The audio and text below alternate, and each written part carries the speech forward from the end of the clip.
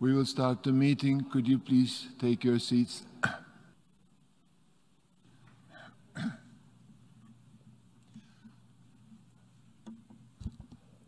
Excellencies, distinguished delegates, ladies and gentlemen, allow me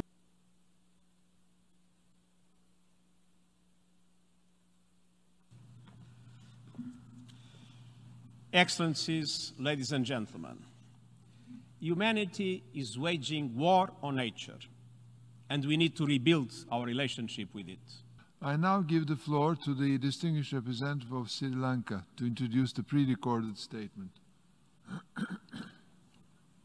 Mr. President, I have the honor to introduce the recorded statement to the Summit on Biodiversity by His Excellency Gotabaya Rajapaksa, President of the Democratic Socialist Republic of Sri Lanka.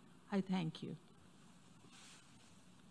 Mr. President, Mr. Secretary General, Excellencies, distinguished delegates, Ayubowan. I'm deeply honored to represent the people of Sri Lanka at this high-level summit on biodiversity. The concepts of biodiversity must be at the very core of the 2030 Sustainable Development Agenda.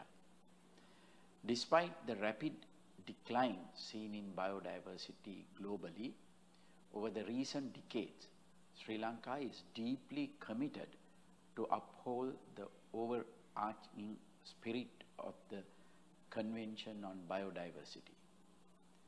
There is a critical need for a transformational change in the relationship between nature and people and contemporary global environmental governance.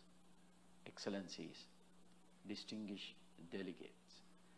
As a member of the Commonwealth of Nations, Sri Lanka endorsed the Commonwealth Blue Charter in 2018 and as such we will champion the Commonwealth Blue Charter Action Group on mangrove ecosystems and livelihoods.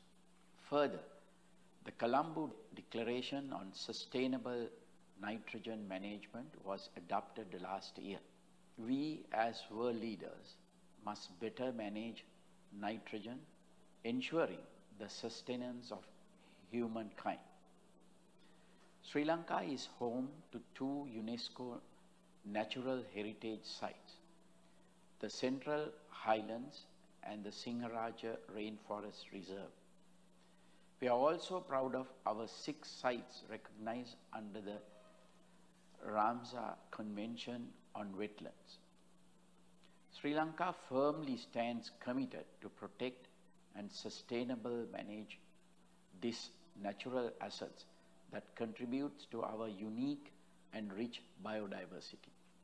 We have been mindful of conserving ecosystems to the highest extent possible, even during the redesigning of cities and urban areas. The wetland parks that we have created in cities, especially in and around our capital, Sri Jayawardenepura Kotte, are home to an array of plant and animal species, offering a mini rainforest experience within crowded cities. The ancient governance of Sri Lanka was built on the concept that the ruler is never the owner of the land. He is merely its caretaker on behalf of his countrymen and all living beings. This is the very principle that my government has adopted in our development agenda.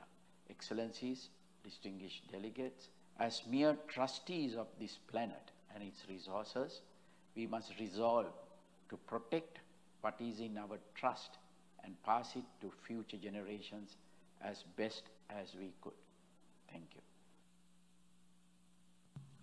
I thank the President of the Democratic Socialist Republic of Sri Lanka for the statement just made.